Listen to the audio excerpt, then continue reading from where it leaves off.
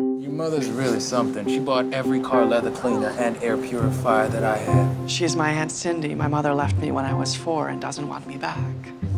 Is that My cousin, you know the one I told you about? the retard? He's autistic or something, right, Luke? Autistic? Grandma said that I defy clinical categorization. I'm just as special as anyone else, maybe even a little bit more. We need to get them proper care. It's what's best. Luke, keep an eye on the relatives. I'm going to get a job. Then you find yourself a nice girl. Girl that doesn't nag, likes to travel. What do you want to do? Huh? What do you want to do? I want to go out and screw. Yes, like a boy my age.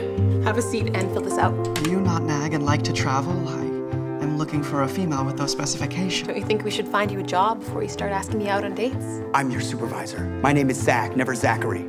I run the IT department. I own your ass. So, Luke, you find a girlfriend yet? That's not funny, Brad. He's been home all day.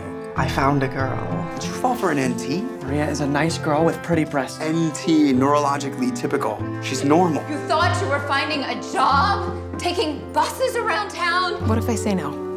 I mean, you're you're cute and all, but maybe I'm looking for something different in a guy.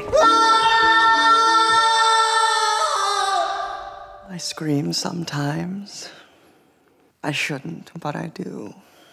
Breathing helps, and pancakes. I love pancakes.